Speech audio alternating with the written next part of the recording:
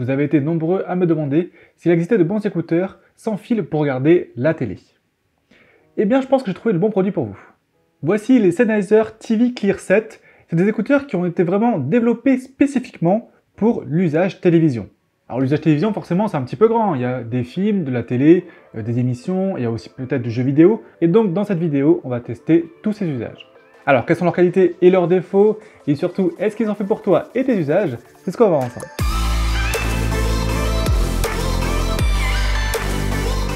Bonjour à tous, c'est Kevin. Bienvenue sur la chaîne e-Bordelais. Et aujourd'hui, on s'intéresse aux écouteurs sans fil pour regarder la télé, et plus particulièrement au Sennheiser TV Clear 7. Alors déjà, pourquoi est-ce qu'on aurait envie d'avoir des écouteurs pour écouter la télé? Alors très clairement, on va avoir plusieurs raisons. La première raison, ça va être si votre audition baisse, pour éviter de mettre la télé trop fort, vous allez pouvoir avoir besoin euh, d'écouteurs ou d'un casque pour avoir le son plus fort. Deuxième raison, ça peut être aussi si jamais vous voulez écouter la télé sans déranger personne. Donc par exemple la nuit ou le matin très tôt, c'est assez pratique d'avoir des écouteurs pour ne déranger personne autour de vous qui serait encore en train de dormir. Troisième raison, ça peut être aussi parce que votre télé a un mauvais son et que vous n'avez pas envie d'investir dans euh, une barre de son ou quelque chose qui prend de la place. Car oui, forcément, un petit boîtier comme ça, ça prend beaucoup moins de place qu'une barre de son ou des enceintes par exemple. Ça pourrait être aussi, et ça c'est vraiment l'usage que moi j'utilise tout le temps pour cuisiner. En gros, la télé est juste ici, j'ai la cuisine qui est derrière là-bas, et notamment quand on cuisine, il y a les bruits de la cuisson, les bruits de la hotte. Forcément, j'ai besoin de mettre la télé hyper forte si je veux l'entendre depuis là-bas. Avec des écouteurs, c'est vraiment trop bien parce que j'ai pas besoin de mettre le son non plus trop fort, et je peux donc très bien cuisiner en écoutant la télé. Dernier usage que j'ai trouvé, mais vous allez peut-être pas en dire d'autres dans les commentaires, ça va être aussi si jamais il y a du bruit derrière vous. Donc ça c'est un petit peu équivalent à la cuisine, mais par exemple, moi j'ai ma compagne qui fait de la couture des fois, donc le bruit de la machine à coudre, quand je vois la télé, c'est un petit peu dérangeant, juste à mettre les écouteurs, et là, plus de soucis avec le bruit de la machine à coudre. Et donc c'est pour répondre à tous ces besoins-là que Sennheiser nous propose ces TV Clear 7. Dans la boîte, on retrouve bien le boîtier avec les écouteurs à l'intérieur. Alors on a aussi différents câbles, ça ça va être un câble jack vers jack. Là ici c'est câble de recharge, donc USB-C vers USB euh, pour recharger le boîtier.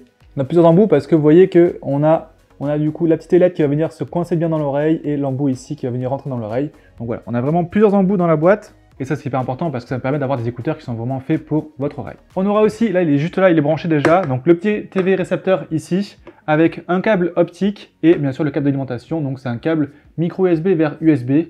Moi j'ai tout branché ça directement à la télé, pas besoin de prise supplémentaire, ça marche très très bien. L'avantage de cette solution-là, c'est que j'ai vraiment une grande diversité de branchements. Donc avec le fait qu'on puisse le brancher à la fois en optique et en câble jack, ça permet de pouvoir le brancher à vraiment l'intégralité, je pense, des télés, voire même des écrans de PC. Donc ici, moi je vous l'ai dit, c'est branché en optique. Les écouteurs viennent aussi avec une application qui s'appelle, euh, comme les écouteurs, hein, donc TV Clear. chose à savoir, hein, il faut les sortir de la boîte pour pouvoir les connecter au téléphone. Et donc du coup, l'application ressemble à ça. Donc là, comme on peut voir de base, on va avoir déjà un curseur ici qu'on pourra bouger pour avoir la perception de l'environnement. Donc en gros, c'est pour contrer la réduction de bruit passive qu'offrent les écouteurs. Donc tout simplement, c'est pour aider la télé tout en entendant un petit peu ce qui se passe autour de nous. Ça marche très bien, mais ça a quand même tendance à dégrader un petit peu le son. Pareil pour l'autre fonction qui s'appelle, dans les réglages ici, la clarté vocale. Donc là, ici, on va avoir différents niveaux aussi. Et lorsqu'on va monter 5, en fait, ça va vraiment permettre qu'on entende beaucoup mieux ce qui est dit mais vraiment au détriment de tous les autres sons. Donc ça va vraiment amplifier à fond les voix humaines, mais tout ce qui est son d'ambiance et tout ça dans un film, là ça va vraiment les diminuer à fond, voire les dégrader. Donc vraiment c'est si vous avez besoin de mieux comprendre ce qui est dit, quitte à dégrader un petit peu tout ce qui est autour. On va pouvoir aussi personnaliser les commandes, donc on aura différentes commandes, donc on va avoir, hop, si je vous montre juste ici, trois types de commandes différentes. La pression courte pour gérer le volume à gauche et à droite, la pression longue pour la netteté et la clarté vocale, et enfin euh, la commande tactile, donc ça c'est le double tap, pour euh, pause et reprise de l'audio et euh, la modification de la perception de l'environnement sonore à droite. On peut changer juste cette dernière, donc là c'est ce qu'on a ici, donc on aura différents paramètres qu'on pourra mettre si on veut ici. Et enfin on peut aussi régler la langue des invitations vocales, et notamment ça nous dit hein, l'état de batterie des écouteurs lorsqu'on les met dans les oreilles. On a aussi un mode qui permet de trouver ces écouteurs si jamais on les perd. ça reste un petit boîtier, il est noir en plus, si jamais il se fout dans le canapé, on pourra les faire sonner pour les retrouver facilement. Tout ça c'est très bien, mais à l'usage, ça donne quoi? C'est ce qu'on teste tout de suite. Bon, du coup, pour l'usage télévision, on va avoir quelque chose de très très bien. Surtout qu'on peut en plus laisser en même temps le son de la télé, donc que ce soit la télé en elle-même ou alors le système son comme ce que j'ai ici, et en plus le son des écouteurs. Ça veut dire que si vous voulez avoir dans écouteurs ben, quelque chose d'un peu plus fort, tout en continuant à regarder la télé avec votre famille, il n'y a pas de souci.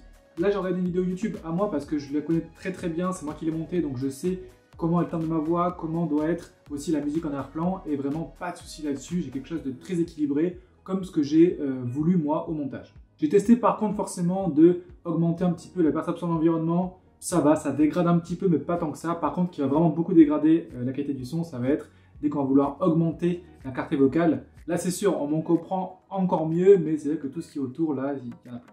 Mais bon, pour certaines personnes, c'est indispensable d'avoir une clarté comme ça vocale augmentée. La fonction marche très très bien, mais comme je le dis, c'est au détriment du reste. Allez, on continue cette fois, on va plutôt regarder du cinéma.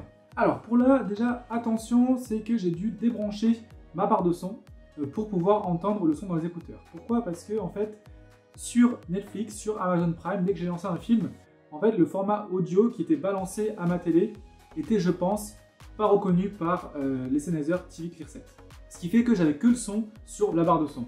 En débranchant la barre de son, ma télé, du coup, envoie seulement le bon euh, format, cette fois-ci au récepteur de Sennheiser. Et donc là, pas de souci, j'avais le son. Niveau son d'ambiance, c'est très très bien. Niveau euh, clarté vocale, encore une fois, pour le dialogue, c'est très très bien aussi, il n'y a pas de souci. J'ai une bonne spatialisation du son aussi, donc Vraiment, les effets de gauche-droite derrière, je les avais aussi, donc c'est très très bien. Seul petit euh, point faible pour ça, ça va être au niveau des basses.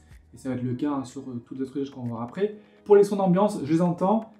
Euh, c'est des basses certes, mais voilà, ça pourrait faire vibrer un peu plus le coffre. Mais bon, bon, toujours pareil, pour faire des basses, il faut du gros volume. Ça reste des petits écouteurs, donc forcément, on n'aura pas autant de basses qu'avec un gros caisson de basse ou même avec un casque. Les basses sont là, mais faut pas non plus s'attendre à en avoir énormément. Alors, on continue avec un usage sport. Alors donc là pour la F1, ce qui est bien c'est que j'ai aussi une très bonne spatialisation. Là j'ai vraiment pu le remarquer avec les droite-gauche, gauche-droite des voitures qui passent. Ça, ça marche vraiment super bien. Le son est pas désagréable, c'est hyper important hein, ça parce que vraiment sur des sons un petit peu spécifiques comme ça, ça peut vite devenir désagréable et là vraiment pas de souci, c'est très bien retransmis. Donc pour cet usage là aussi, c'est très très bien. Sur certains passages où on entendait la foule et tout ça, on a vraiment pareil, un beau son qui va vraiment bien nous entourer, donc c'est très agréable. Et là, c'est clairement le type d'usage où quelqu'un qui aime pas ça, en voiture, des voitures passées, c'est chiant. Donc c'est bien d'avoir des écouteurs pour n'embêter personne. Allez, on continue cette fois. Maintenant, on va jouer un petit peu. Ça, euh, c'est hyper intéressant comme usage parce qu'on va vraiment pas devoir avoir de latence. C'est bon, ça marche super bien. J'ai vraiment très peu, voire pas du tout de latence, ce qui est vraiment remarquable hein, pour des écouteurs sans fil Bluetooth. Et ça, pour du jeu vidéo, c'est hyper important, en particulier si vous jouez en réseau. Parce que voilà, entendre un ami euh, derrière vous, ça peut euh, très vite faire la différence entre une partie gagnée et une partie perdue. Là encore une fois, la spatialisation est très très bonne. Je me suis un petit peu amusé là, vous avez vu, avec Star Wars, à faire bouger le sabre laser. Et j'avais vraiment le mouvement du sabre qui tournait autour de moi, ce qui était très bien retransmis, donc c'est chouette. Et enfin, dernier usage, ces écouteurs sont aussi des écouteurs Bluetooth qu'on va pouvoir connecter à son téléphone pour pouvoir les utiliser à l'extérieur. Bon, l'inconvénient là-dessus, surtout pour des écouteurs à ce prix-là, on en parlera juste après, euh, c'est que on n'a pas de réduction de bruit active. Donc ça reste que des écouteurs passif. L'utilisation en écoute de musique est très très bien, il n'y a pas de souci là-dessus. Mais voilà, si vous cherchez des écouteurs juste pour les connecter à votre téléphone, bah, ce ne sera pas ça qu'il faudra. Mais par contre, si vous voulez des bons écouteurs pour écouter la télé et pourquoi pas de temps en temps écouter votre téléphone, ça peut vraiment faire le boulot. Avant de passer à est-ce qu'ils sont faits pour toi ou pas, j'aimerais juste vous dire un dernier petit point de vigilance. Donc en plus du fait que des fois il faut débrancher son système son pour utiliser des écouteurs ou alors sélectionner que les écouteurs directement dans les paramètres de la télé comme sortie son, j'ai aussi un souci depuis la dernière mise à jour pour régler le volume. En fait, normalement, régler le volume, c'est juste un tap à gauche pour baisser, un tap à droite pour augmenter. Et là, depuis la dernière mise à jour, eh bien, cette commande-là ne fonctionne plus. Donc c'est sûr que ce sera réglé dans la prochaine mise à jour. Mais bon, il fallait que je vous le dise quand même, parce que là, actuellement, bon, j'ai un volume qui est très très bien, donc il n'y a pas de souci, mais je ne peux pas régler ni plus ni moins. Et donc, est-ce que les Sennheiser TV Clear 7 sont faits pour toi? Ils seront parfaits pour toi si jamais tu cherches une solution facile pour regarder la télé sans déranger. Et par la télé, c'est différents usages, hein, tu l'as vu, ils sont à l'aise partout. Ils seront aussi parfaits pour toi si jamais tu as du mal à entendre certains dialogues. Donc le mode de clarté vocale, je te l'ai dit, qui va un petit peu altérer le son, mais il va vraiment augmenter drastiquement la compréhension qu'on a des dialogues. Et si tu as du mal à en comprendre certains, ça peut vraiment être une super solution pour toi. Et enfin, ils seront aussi parfaits pour toi si jamais tu cherches un système qui est léger et avec un bon maintien. Bon, déjà forcément, des écouteurs, hein, c'est beaucoup plus léger qu'un casque, et surtout, le fait qu'on ait les petites ailettes là, ici, là, ça va vraiment rajouter un maintien, ce qui fait que l'écouteur ne bouge vraiment pas du tout. Voilà, il n'y a pas de souci, ça risque pas de sortir euh, sans qu'on fasse exprès. Et vu que j'ai des parties assez molles tout autour de l'écouteur, même après de longues heures d'écoute, j'ai pas senti particulièrement d'inconfort. Par contre, attention, ils ne seront pas faits pour toi forcément si tu n'aimes pas les écouteurs intra-auriculaires, parce que ça reste quelque chose qui va rentrer ici dans l'oreille, et donc ça peut en déranger certains. Surtout aussi, attention aux plus petites oreilles parce que la partie qui rentre dans l'oreille est quand même assez importante. Donc si jamais vous avez une trop petite oreille, ça peut vous faire mal aussi un petit peu. Mais n'oubliez pas qu'on a quand même différents embouts pour avoir le meilleur confort possible. Ils ne seront pas non plus faits pour toi si jamais tu veux la meilleure immersion possible. Alors, même si la spatialisation est quand même très très bonne, ce que je vous ai dit, c'est qu'on va manquer un petit peu de basses. Et généralement, les basses, ça va vraiment être tout ce qui va être son environnant. Et enfin, ils ne seront pas non plus faits pour toi si jamais tu cherches une solution qui est peu onéreuse, tout simplement parce que ces écouteurs sont vendus à 399 euros en prix public conseillé. Donc oui, c'est cher, mais le prix est justifié parce que on a quelque chose de très très bien avec pas latence, très très peu en fait, mais en tout cas c'est vraiment négligeable. Ce qui fait qu'à l'usage, c'est vraiment hyper agréable à utiliser. Et même pour moi qui utilise aussi de temps en temps ben, mes écouteurs Apple avec mon Apple TV, je trouve que cette solution est quand même un cran au-dessus par rapport aux AirPods 3 et aux AirPods Pro. Avec le casque AirPods Max, c'est un petit peu mieux, mais bon, le prix est même plus cher que ces écouteurs-là, et euh, de toute façon, c'est un casque, donc c'est un produit différent. Donc au final, en recevant ce produit-là, de base, je me suis dit, bah ouais, c'est clairement pour ceux qui n'entendent pas bien, c'est pas fait pour moi. Sauf que à l'usage, en l'utilisant ben, au quotidien, je me suis rendu compte que bah, très souvent, en fait, j'allais les chercher pour les mettre dans les oreilles, que ce soit pour cuisiner, que ce soit pour jouer euh, quand il est un peu tard, que ce soit pour regarder une vidéo YouTube quand il est un peu tôt, ou même du coup, comme je le dis, quand ma compagne fait euh, de la couture, bah, j'utilise quand même vachement souvent ces écouteurs, et du coup, et dans mon quotidien, ça m'apporte quelque chose. N'hésitez pas à poser toutes vos questions en commentaire, j'y répondrai avec grand plaisir. Pensez à mettre un petit pouce bleu si la vidéo vous a plu et vous a aidé, ça motive vraiment. Et nous on se retrouve très vite en live ou en vidéo.